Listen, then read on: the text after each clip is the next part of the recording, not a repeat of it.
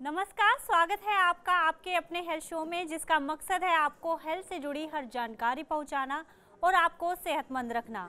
आप देख रहे हैं टीवी नाइन डिजिटल और मैं हूँ आपके साथ गुंजन मित्तल। आज हम बात करेंगे जॉइंटिस की, जिसे हम आम भाषा में पीलिया भी कहते हैं।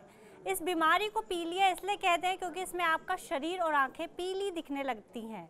पर ये बीमारी क्यों होती है और इसके बिगड़ने पर किस तरह की परेशानी हो सकती है आज इसी पर चर्चा करेंगे।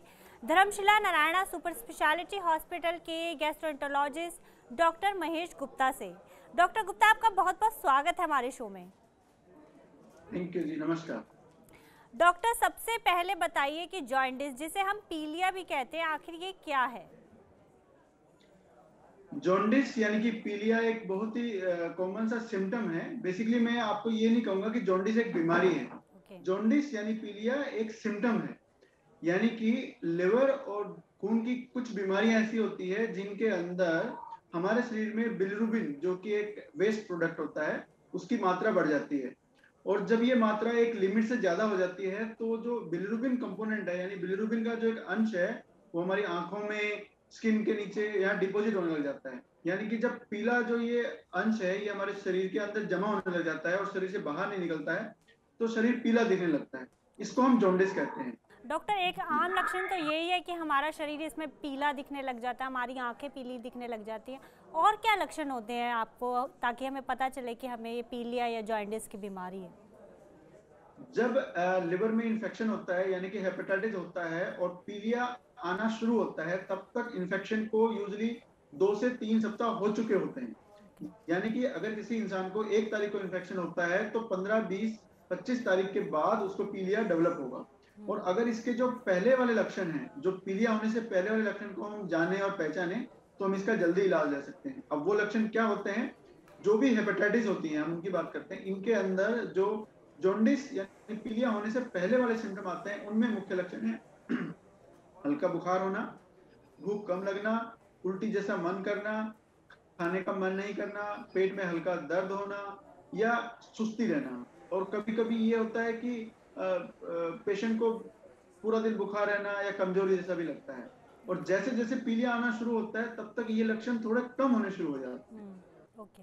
हम देखते हैं ज़्यादातर न्यू बॉर्न्स में भी ये देखा जाता है। बहुत ज़्यादा न्यू बॉर्न्स जो बच्चे पैदा होते हैं, उनमें पीलिए की प्रॉब्लम देखी जाती है। तो ये क्यों होती है और क्या ये घबराने या चिंता करने वाली बात होती है? और कब तक ये बीमारी ठीक हो जाती है उनमें?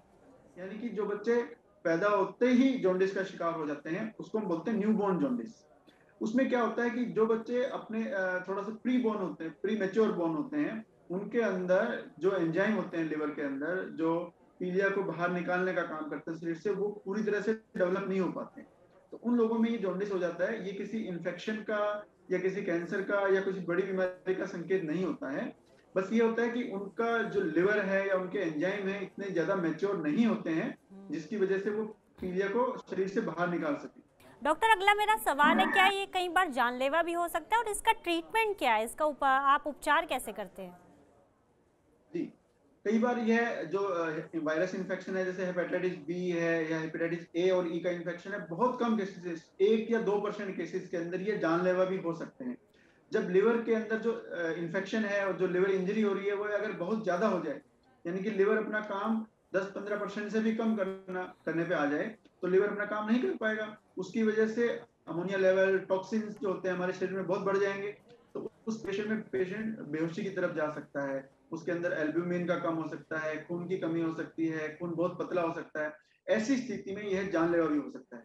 Okay. अगर यह जानलेवा की तरफ़ जाता है तो उसमें हमें ट्रांस लिवर ट्रांसप्लांट की ज़रूरत पड़ती है। परंतु 98 टू 99 परसेंट केसेस में यह सीरियस नहीं होता है। इसमें जो इलाज होता है वो सिम्टोमेटिक ट्रीटमेंट किया जाता है। अच्छी हेल्दी डाइट थोड़ा सा रेस्ट प्रॉपर इलाज और जो जादू टोना तंत्र मंत्र या झाड़ फूक है उससे बचना ये बहुत ज़रूरी होता है। जी। डॉक्टर आपका बहुत बहुत शुक्रिया हमारे साथ जुड़ने के लिए और जॉइंटिस से जुड़े हमारे तमाम सवालों के जवाब देने के लिए। Thank you so much doctor. धन्यवाद।